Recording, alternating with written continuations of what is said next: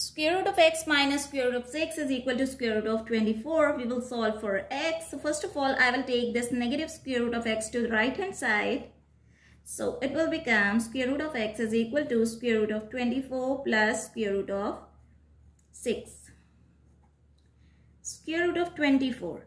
It can be written as 6 times 4 plus square root of 6 so square root of x is equal to, we can write it as square root of 6, square root of 4 plus square root of 6.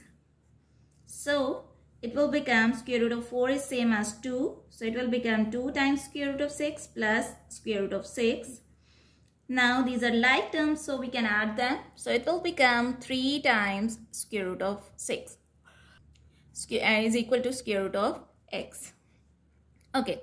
Now to remove this square root, we will apply square on both sides. So it will be cancel out.